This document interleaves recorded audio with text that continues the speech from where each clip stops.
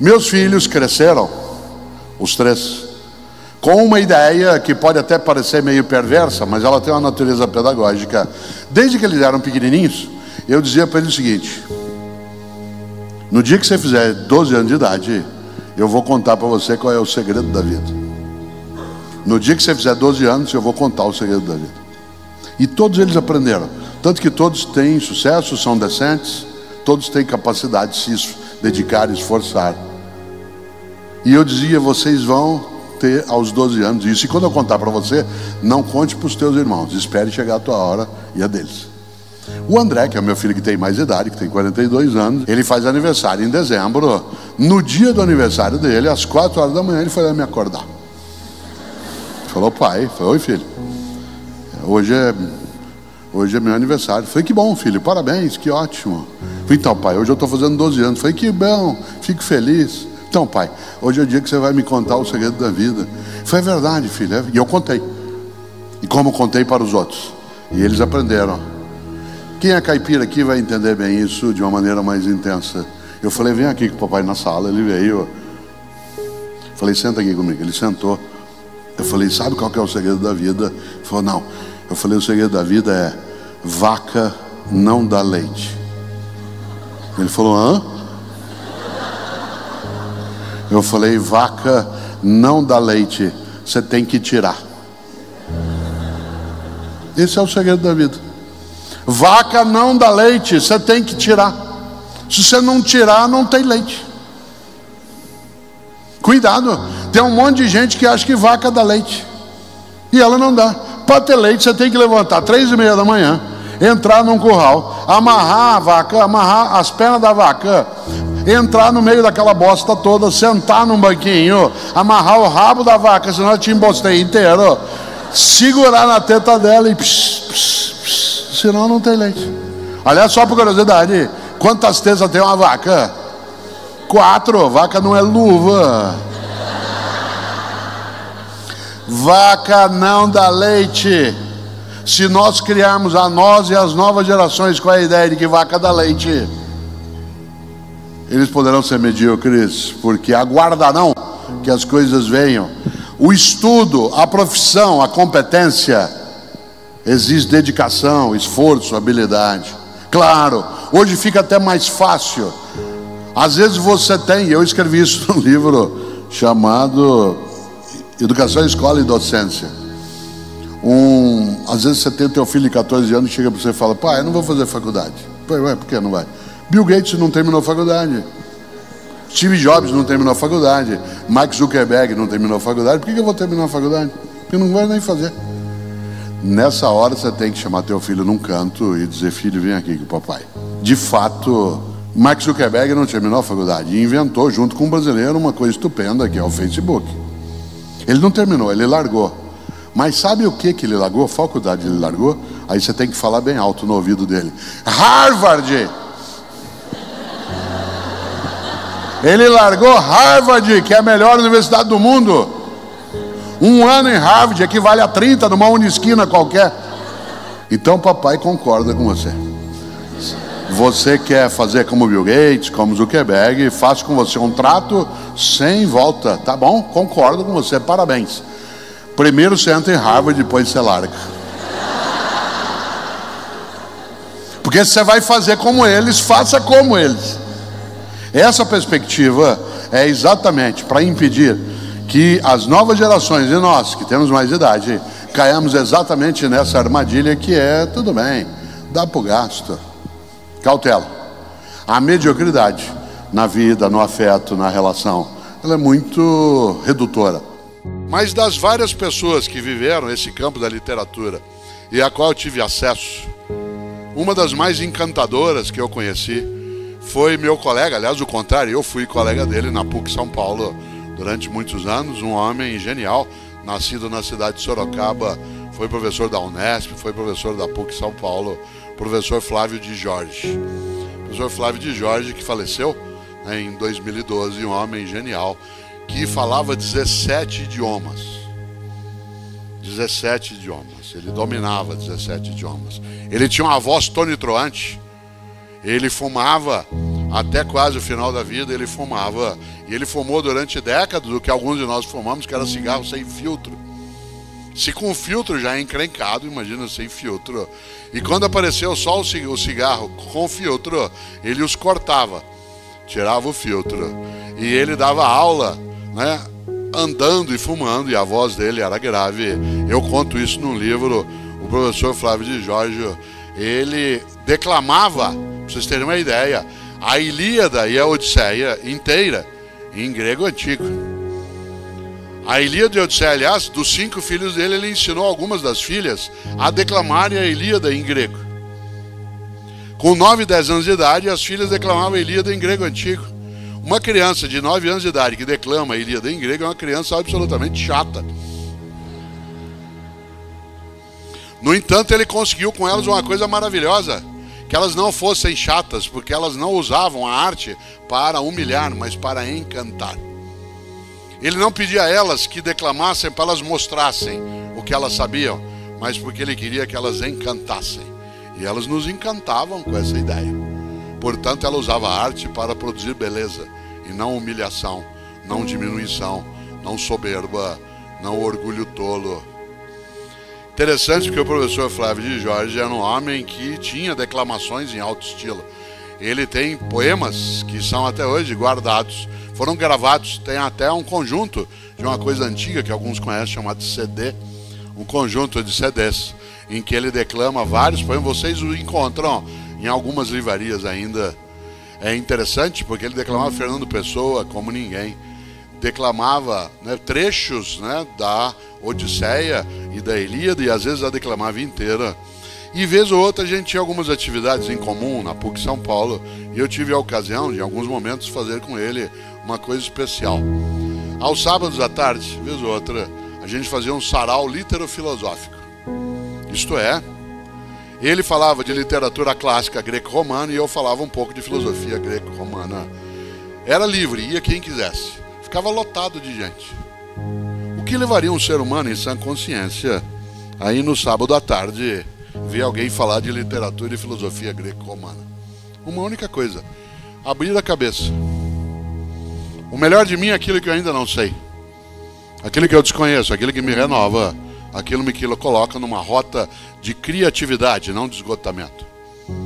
E o professor Flávio de Jorge, com aquela voz tonitruante, ele estava um dia na sala declamando a Ilíada.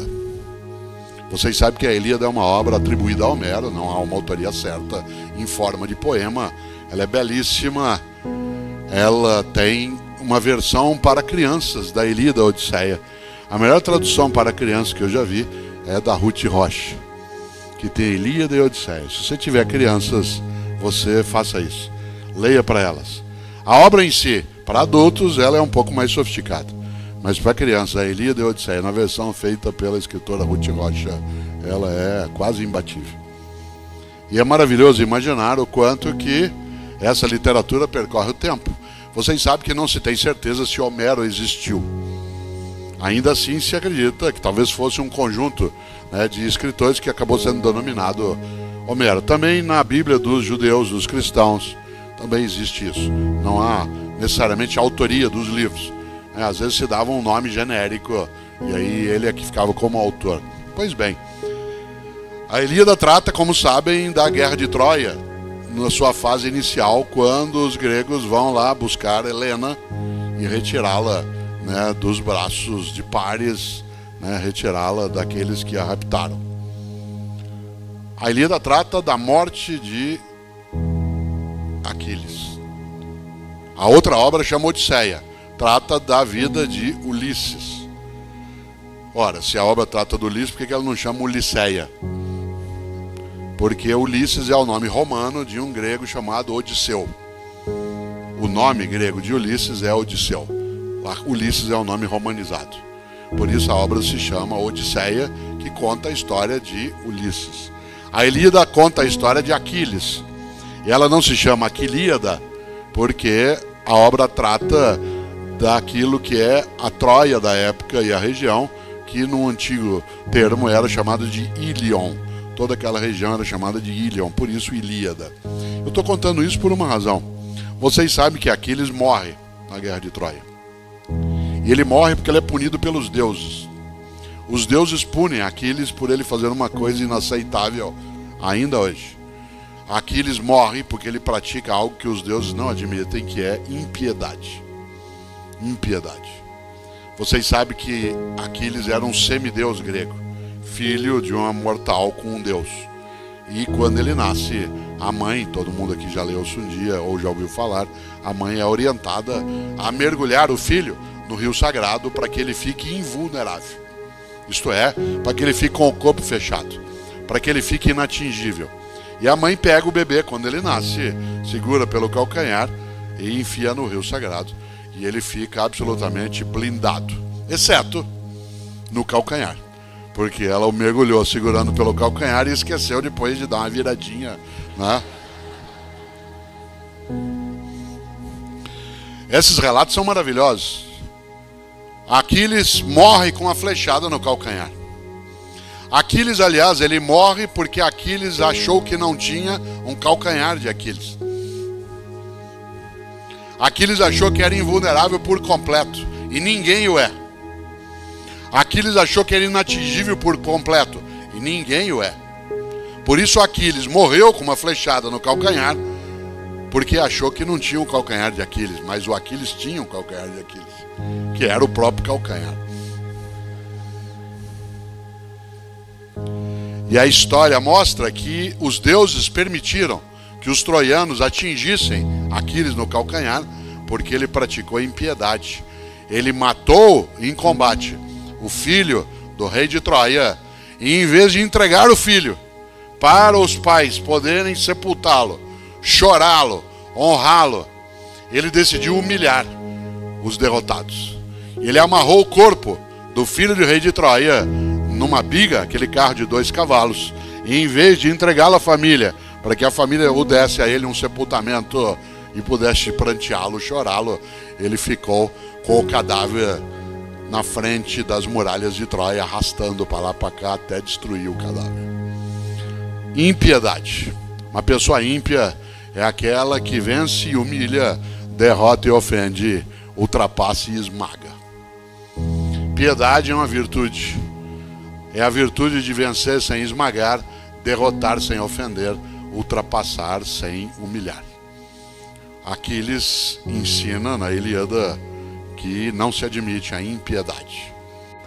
Há 20 anos, em 1998, eu tinha 44 anos de idade, eu fui assistir a um filme que nesse ano está fazendo 20 anos.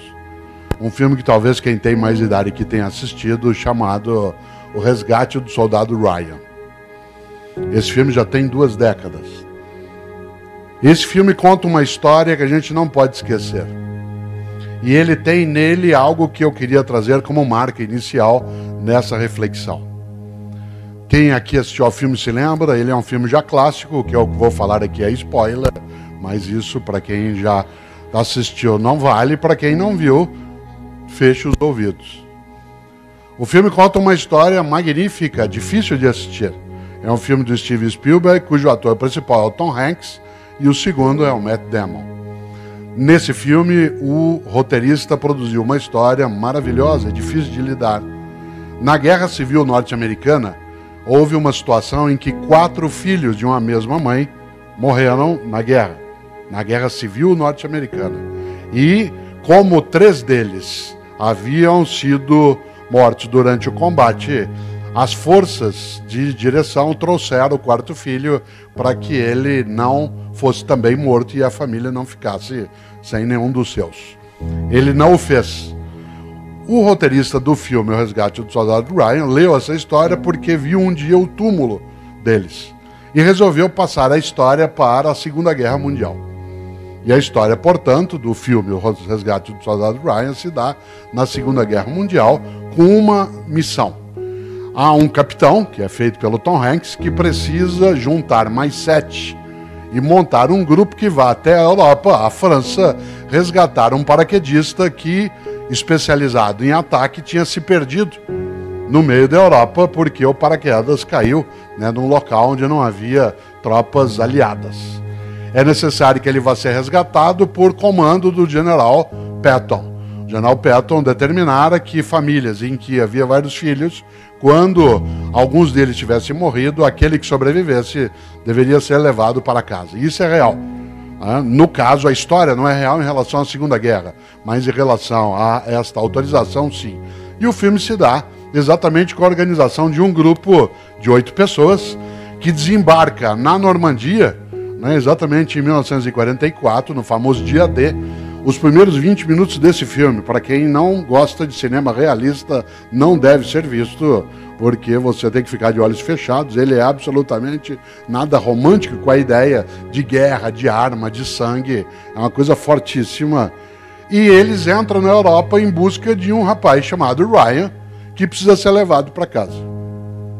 Dá para você imaginar como a história se desenrola. Isto é, achar um paraquedista de uma tropa norte-americana perdido na Europa em meio a uma guerra, né, ainda mais sem aqueles meios digitais que o Pedro tanto aprecia, né, um pouco mais complicado.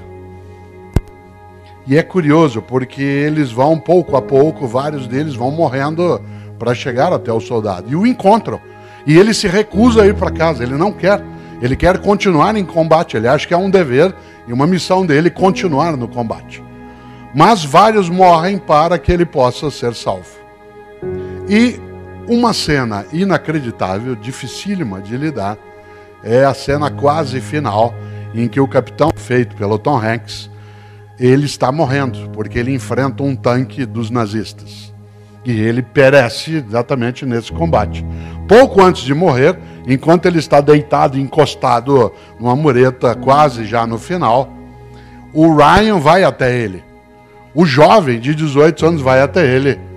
E o tenente, desculpe, o capitão, segura o Ryan pela gola do uniforme, olha para ele um pouco antes de morrer e diz: Faça por merecer. faça por merecer. E o filme vai até o final com algo fortíssimo, que é o Ryan, já idoso, no cemitério visitando o túmulo do capitão. Enquanto ele está orando pelo capitão, a família dele está mais à distância, ele já bastante idoso, ele termina, ele dialoga com o capitão, agradecendo, claro, né, com o túmulo, faz continência e chama a esposa dele, que vem pouco a pouco, ele segura na mão dela e pergunta: Eu fiz por merecer? Essa é uma das questões mais difíceis que a gente pode ter de lidar. Quando esse título da reflexão aqui hoje é: Se você não existisse, que falta faria? Em última instância, a grande pergunta é: fazemos por merecer?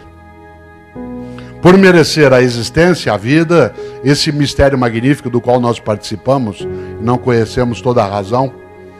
Essa vida que nós partilhamos com outras e outras e outras formas de vida. Será que nós a desperdiçamos, a colocamos fora? Cada vez que eu revejo, eu vejo e revejo a cena, eu me lembro dessa pergunta que ecoa dentro de mim. Sem ser aqui dramático em excesso, sem ser também piegas a frase é muito forte. Se alguém grudasse na gola do meu casaco e tivesse morrido quase, como aconteceu, com vários outros para que eu pudesse viver, e dissesse no último suspiro: faça por merecer. Isso é forte demais. É interessante, porque as homenagens que a gente recebe, elas, vez ou outra, nos levam exatamente a pensar isso. Será que nós fazemos por merecer? Merecer o quê? A amizade que partilhamos, a solidariedade que nos oferece, a alegria que a gente pode ter, os momentos também de fraternidade que se tem, aquilo que é para nós uma condição de existência que não necessariamente é colocada com outras e outros. O que faço é a minha obra, não é só o meu emprego. É o meu emprego como forma de meio de vida, mas não é apenas o emprego. É o que me move é o que me movimenta. No entanto, gosto de lembrar algo e vou trazê-lo aqui de novo. É preciso sim saber qual é o teu propósito. A coisa pior é quando você não tendo nitidez do teu propósito, alguém tem por você e te conduz e te leva De novo a palavra alienação. Você não se pertence. Quando você não é capaz, ou eu não sou capaz, de ter clareza de quais são as razões pelas quais faço o que faço, é claro que eu até posso seguir fazendo de modo automatizado, mas aquilo perde qualquer sentido. No dia 16 de abril, 16 de abril de 1889, há 104 anos, nasceu em Londres uma das pessoas que eu mais admiro, Charlie Chaplin. Charlie Chaplin, um homem que foi capaz de trazer a emoção da arte, de tornar a vida mais engraçada, tirar um pouco do desgraçado da vida por intermédio de uma personagem que ele criou, que é o vagabundo, o Carlitos. Quem aqui não se lembra das imagens de Carlitos, seja no filme O Garoto, né, seja no filme que trará né, as luzes da ribalta, mas especialmente Charlie Chaplin foi capaz de nos encantar com a graça a graça da não desistência. Não é casual que ele seja um dos personagens mais imitados.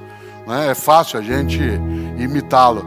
Ele morreu no dia 25 de dezembro, 25 de dezembro de 1977, no dia de Natal. Não é à toa que João Bosco e Aldir Blanc, depois, ao fazerem a música O Bêbado e o Equilibrista, cantaram Caía à tarde como um viaduto e um bêbado trajando luto me lembrou Carlitos. Pois bem, 16 de abril de 1889, Carlitos não nascia ainda, nascia Charlie Chaplin.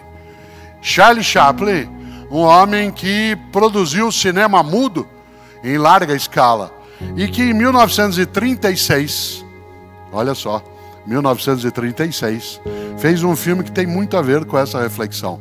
Um filme chamado Tempos Modernos. Primeiro, que é ainda num cinema que já não era mais mudo, ele faz um filme tempos modernos que é quase todo ele mudo. É o último filme mudo do Charlie Chaplin e é o primeiro filme em que a voz dele aparece. É o último filme mudo dele e é o primeiro em que ela aparece porque ele canta. Aliás, ele é o autor da trilha sonora desse filme. Trilha sonora essa que tem uma das mais belas canções, que é Smiles você se lembra da música sem letra. A letra só virá em 1954, não foi feita por ele. Mas quando Charlie Chaplin faz tempos modernos, ele organiza ali uma grande questão. Aliás, ele foi acusado de ser comunista por conta de pensar essas coisas. Uma grande questão que é por que fazemos o que fazemos. E no tempos modernos, não sei se você se lembra, há uma cena clássica, que é o Carlitos como um operário que está numa linha de montagem numa empresa em que ele tem que produzir tanto que eles inventaram uma máquina para alimentá-lo automaticamente sem que ele parasse de trabalhar. Se você se lembra das cenas, elas são inesquecíveis. Né? Ele está ali e vem uma máquina como se fosse um pequeno robô que levanta na frente dele, abre uma tampa, uma sopa é tirada, colocada enquanto ele trabalha, né? e aí vem um outro bracinho que pega um guardanapo e passa. Depois tudo dá errado naquilo. Mas a ideia é que ele não parasse de produzir. A cena mais emblemática, se você se lembra, ela é muito reproduzida em vários lugares, é quando ele está apertando né, parafuso e cada vez aquilo vai correndo mais a esteira e ele vai apertando mais e uma hora ele enlouquece e ele começa a apertar qualquer tipo de coisa que pareça um parafuso, inclusive os botões da roupa né, do supervisor e aí vai. E há um determinado momento, e esse é o grande tempo da simbologia, em que ele cai na máquina ele cai na engrenagem. E essa é uma das cenas mais conhecidas, porque ele cai nos dentes da engrenagem da máquina e ele vai passando por todos os dentes e sai ileso do outro lado. Ele só sai ileso do outro lado, e essa é a simbologia, porque ele é parte da máquina. Isto é, ele não é uma pessoa com desejo, vontade, necessidade, propósito. Ele é parte da máquina.